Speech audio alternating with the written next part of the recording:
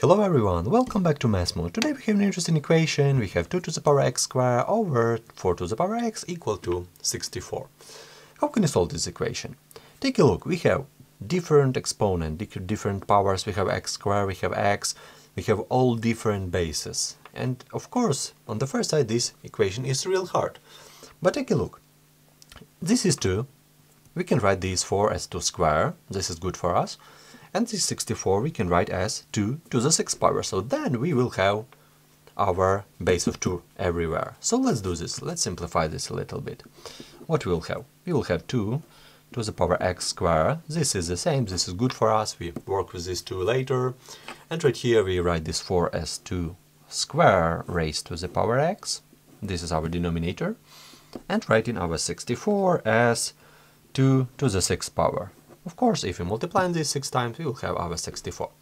Take a look, this is good for us. We have 2 everywhere, but right here we have 2 square, but you need to know about the rule. If we have situation like that, if we raise a to the power x raised to the power b, we can write it as, as multiplication. So 2 to the power x square ray dividing by 2 to the power 2x and equal to 2 to the 6th power. So just multiplying this. Right here we have multiplying. This is the rule.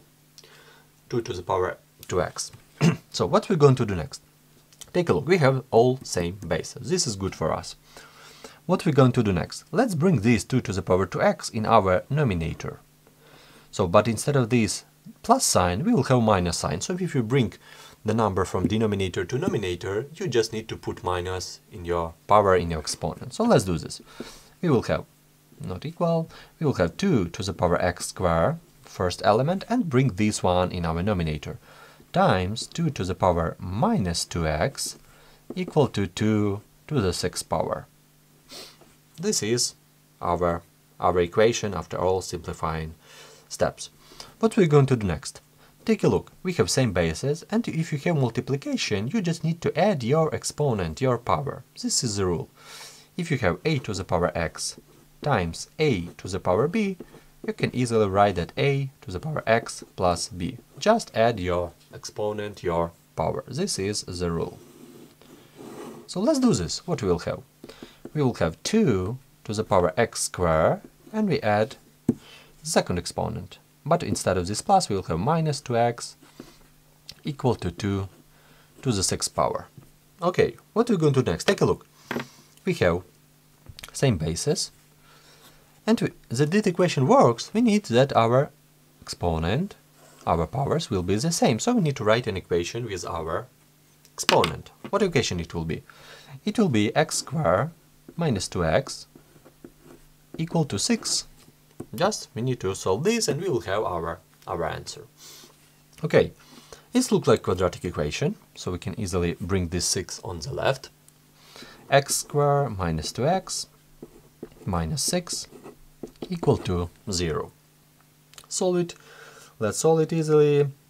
Let's find our ABCD, ABC, sorry.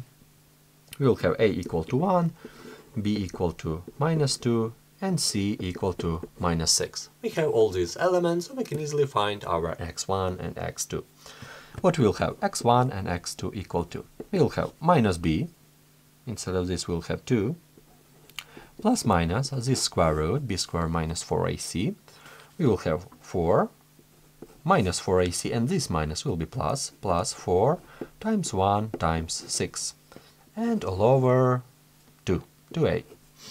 Let's simplify this a little bit. As a result, we will have 2 plus minus this square root, we can find it, we will have 4 plus 24, it will be 28, and of course dividing by 2. We find our x1 and x2.